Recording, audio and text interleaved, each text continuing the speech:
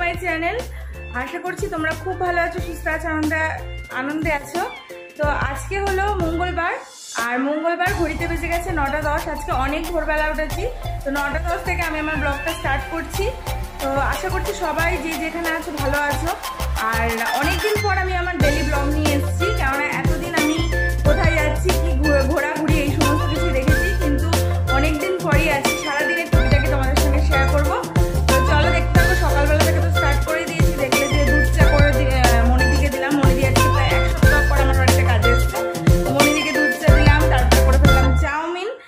এখন ছেলে আর তার বাবা মানে দিলীপ, দুজনেই ঘুমাচ্ছে। এখন ওদের দুজনকে ডাকবো, ডেকে দেন আমি ওদেরকে টিফিন দেব। টিফিন দিয়ে তারপরে রান্নাবান্নায় হাত দেবো। তো দেখতে থাকো, আর দেখতেই পাচ্ছ, এই দেখো, এক পাজা বাসন হয়েছে এগুলো সমস্ত কিছু মেজে মানে মাজলো। এই কয়দিনে পুরো হাল একদম খারাপ, ঠিকঠাক ব্লগ করতেই পারছিলাম না। কেননা ওই বললাম যে ঠিকঠাক লোক আসছিল না, আর অভ্যাস নেই। যার দরুন এই পরিস্থিতিটা হয়েছে এখন জামা কাপড়ও কাচবো। তো দেখি কতটা কি করে উঠতে পারি, আর কতটুকু তোমাদের সঙ্গে শেয়ার করতে থাকি। তার সাথে থাকো, দেখতে থাকো ব্লগটা পুরো। তো ঘড়িতে বেজে গেছে এখন প্রায় এগারোটা দশ। এখন আমি করতে নিয়েছি রান্না বান্না মাঝখানে একটুখানি তোমাদেরকে বলেছিলাম, অনেক ভোরে উঠেছিলাম। ছেলে যেহেতু উঠে গেছিল, তাই একটুখানি চোখটা লেগে এসেছিল, ঘুমিয়ে পড়েছিলাম।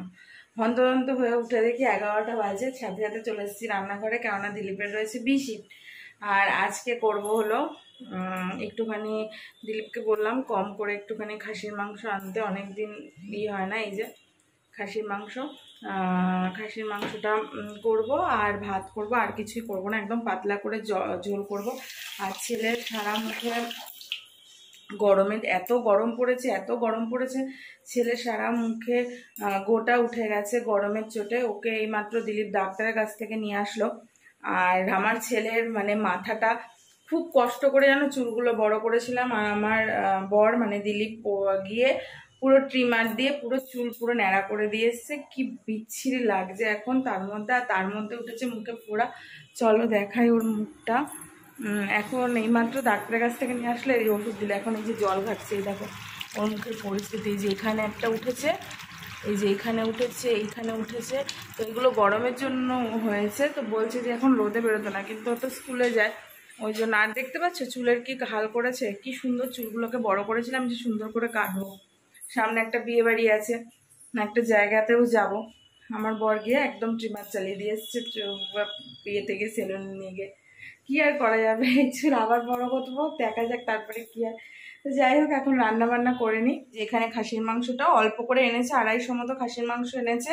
এটা আমি টক দই, আদা বাটা, জিরে বাটা, লব- লবণ ধনে গুঁড়ো, সর্ষের তেল আরও কি, রসুন বাটা, সমস্ত কিছু দিয়ে অনেকক্ষণ আগে, এক ঘণ্টা আগে টক দই টক দই দিয়ে সমস্ত কিছু দিয়ে আমি ম্যারিনেট করে রেখেছি। আর এখানে হলো পেঁয়াজ কেটে নিয়েছি আর আলুটা মানে মাংসের থেকে আলু বেশি নিয়েছি।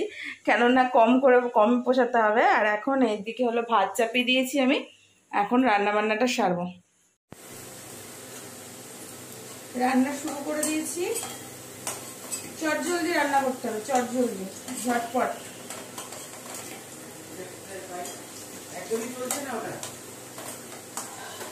সারা সকাল থেকে সারা রাত থেকে বসিয়ে রেখেছি মাত্র ছাব্বিশ পার্সেন্ট মোবাইলের চার্জার খারাপ হয়ে গেছে। এখন আমার প্রতিদেবতাকে বলেছি চার্জার এনে দিতে। সকাল থেকে বলে যাচ্ছে এখনও তার আনার পাত্তা নেই।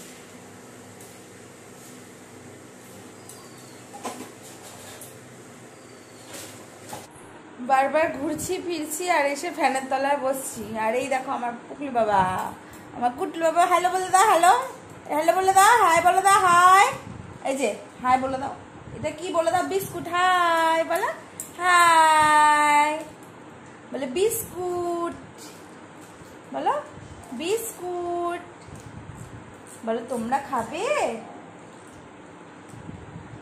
এখন ওই যে হরলিক্স বিস্কুট নিয়ে পড়ে আছে, তার বাবা এনে দিয়েছে।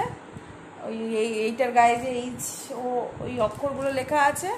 আর এ তো পুরো এবিসিডি অ্যাডাক্টেড তো ওই অক্ষরগুলোই ও দেখছে।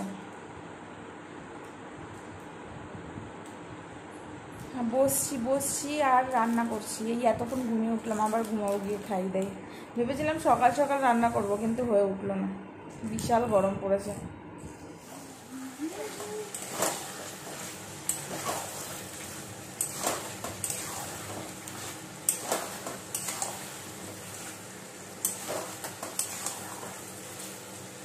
তো চলে এসেছি স্নান করে, আর ব্লগটা কন্টিনিউ করতে পারলাম না, কেননা শরীর আর দিচ্ছে না। বললামই প্রচণ্ড গরম পড়েছে, আর এইদিকে একটু সিরিয়াল চালিয়ে নিয়েছি, ছেলেরও খুব ঘুম পেয়েছে। তো যেটুকুনি শেয়ার করলাম মানে এইটুকুনি আমার সারাদিনের টুকিটাকে শেয়ার করলাম। এখন বাচ্চাকে নিয়ে মানে বাবান তো খুব বড় হচ্ছে আস্তে আস্তে, ওকে নিয়ে ব্লগ করা খুব চাপের হয়ে যাচ্ছে। তো যাই হোক আমি একটা কথাই বলব, যদি তোমাদের আমার ভিডিওগুলো ভালো লেগে থাকে, অবশ্যই লাইক কমেন্ট শেয়ার করে দিও। আজকের ব্লগটা এইটুকুনি। তো আজকের মতো, টাটা।